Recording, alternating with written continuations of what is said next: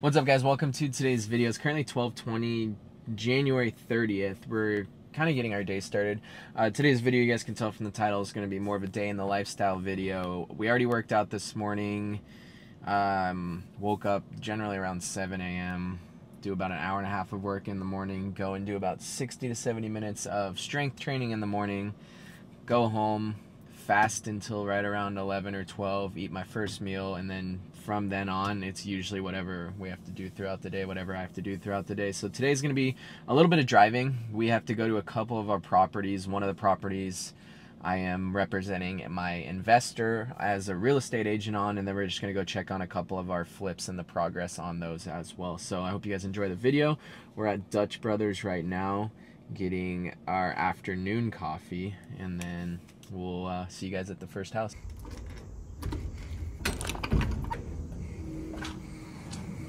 Got the lockbox off of one house, going to throw it on another.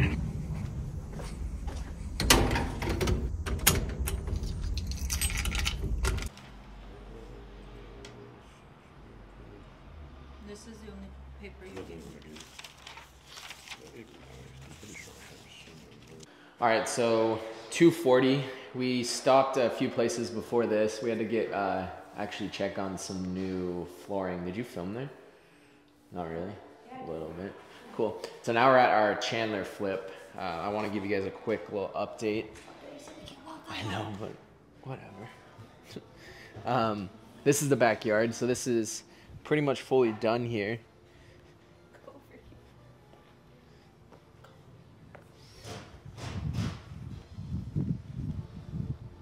So this is uh, 95% done. Landscaping's already done.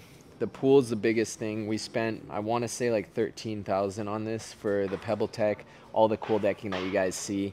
They still have to finish off the cool decking. It's all prepped and everything. Got brand new roof on there as well. It's a flat foam roof, so it's a little bit different than the traditional roofs you guys see.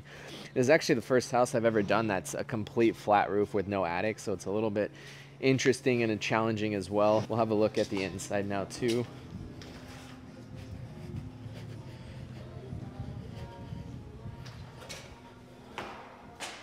We have drywall going on right now, so this will be a pretty fun week to see once it's all drywalled off.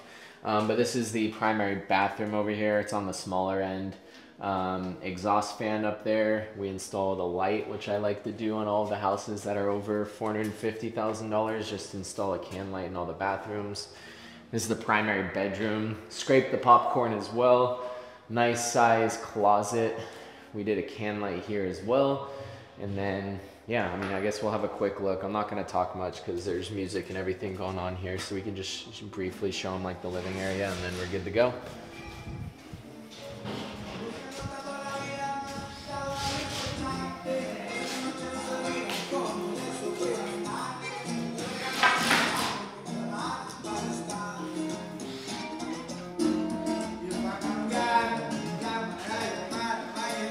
So it's currently 320. I had to race to another one of my listings to grab the lockbox for this listing. So this is actually one of my clients' listings. I'm just being the uh, listing agent on it. I don't have any affiliation with the actual property. So I just wanted to get an initial walkthrough here. I've never seen this before. And then I also, like I said, wanted to, needed to throw my lockbox on the property.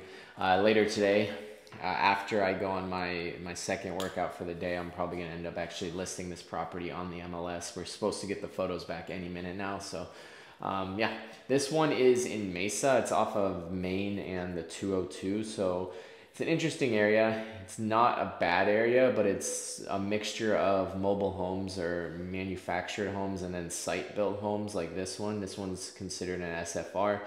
Um, a couple things that I'm noticing right away these drop downs right here.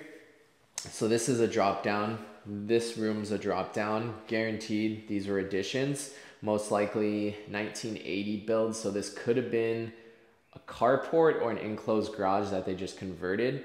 It's just very interesting. I'm guessing that this was carport based on the size um, of this specific room. And then this, if you look over here, um, it steps back up. So this is was a utility room And then when I was walking through here, they made this doorway to kind of attach it. And I'm guessing I didn't even look. This probably doesn't have ducting. So yeah, if you want to have a look, this has no ventilation or ducting in here, which means you technically can't count this room or this hallway right here as square footage. And um, originally what I assume they did before even seeing this, this wall right here is they uh, had a doorway into the main house, probably into this room for a washer and dryer before they made this an addition where you can access it through here. So that's just my guess. But this is utility room, water heater, washer dryer, yeah, washer dryer, which is a pretty cool setup. This is another cool little storage room right here that they can have. And this is the type of area and the type of price point where people will appreciate the extra square footage. Um, it's gonna probably be listed at the 350s. So Oh yeah, kitchen right here. And then you have the additional bedrooms over here. This being a four bedroom, two, is it a four one? There's only one bathroom, huh? It's just this? Oh no, two. Yeah, so it's a four two. So this is, it will sell pretty good because like I said, this type of demographic will want that fourth bedroom and it will mean a lot more to them. So this is the primary over here. Um, primary bathroom, full walk-in shower. And then you guys can, I'm not gonna show you the backyard, but you can look through the window right here. Very big backyard, RV gate back there, no HOA, so you can park your RV back there. But it's, it's priced very, very low. It will be priced very low for it being a single family detached property. So I think it'll get a lot of traction in here. And um, yeah, that's it. So I'm gonna create a little TikTok. Then I gotta head home, eat, and then go on a, a bike ride because I'm training for an Ironman 70.3. So um, two workouts a day for the next like six months here. That's it. Welcome to my client's house. This is a 1130 square foot single family residence, four bedroom, two bathrooms in Mesa, Arizona off of Main and the 202.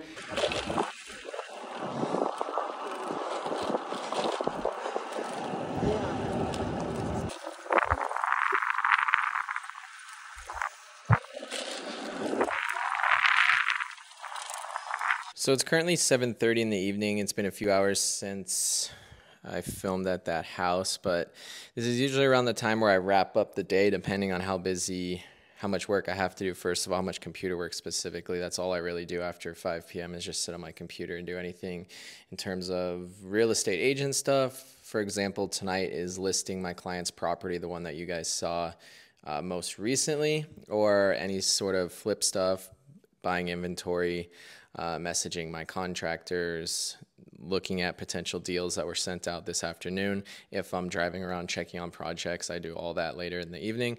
And then if I'm on my computer most of the day where I don't have to drive around places, then a lot of the times I'll be done with my day early. But um, that's the other thing I want to talk about too is my eating and just kind of my nighttime routine. So I usually go to bed around 11 p.m. I've been trying to implement something called the 321 rule, which is three hours before bed, I'll stop eating just because digesting your food right before bed raises your body temperature and it's just a lot harder to fall asleep and you don't get as deep of sleep. So I've been trying to eat a little bit sooner in the day and just kind of fast through the night and fast through the early morning. Um, two hours before bed, stop drinking liquids so then you don't have to use the restroom at night that's pretty recent as of like a week or so ago. So I'm going to see how that works as well. Just trying to get better sleep overall. And then the last three, two, one, the last one is one hour before bed, removing all electronics, which I don't think I'm going to do. I don't have plans to do that. I'm really on my phone up until I go to sleep. Um, but yeah, we did a 90 minute, I think I talked about it. I'm doing an Ironman 70.3. So the training for that's been very time consuming in like a good way i guess. It's making me kind of schedule every schedule my entire day out a little bit better but today for example was an hour and 45 minute bike ride which was like 27 miles at a relatively slow pace. So that was something that's also causing me to work a little bit later in the day because that was from 4 p.m is when we usually train with my friends um, and then this one was a two hour workout essentially. So till 6 p.m., get home, eat, shower, and then back on my computer for another hour or so. Um, yeah, that's all I really wanted to talk about. I'm going to be listing this property tonight. Um, we have, how many properties do we have right now? We have six, seven, eight, nine. Nine properties. They're all either currently listed um, in the process of us buying them or being renovated. And then we have a couple um, under contract as well to sell. So we're decently busy. We're starting another one tomorrow. And then I'm off to LA for the rest or Thursday as well. So that's what the rest of my week's looking like. But I appreciate you guys watching this video. Let me know if you guys want to see anything, have any questions about anything. Um, follow me on TikTok, follow me on Instagram. All my information's down below. And if you guys are looking for a real estate agent here in the Arizona area, whether it's investment property, you're looking to buy your house, you're looking to sell your house, I would love to work with you guys. If you guys send over any referrals and I end up working with them, I will pay you a referral fee too. So I appreciate that. Always keep me in mind if you guys are looking for an agent out here, and I'll see you guys soon.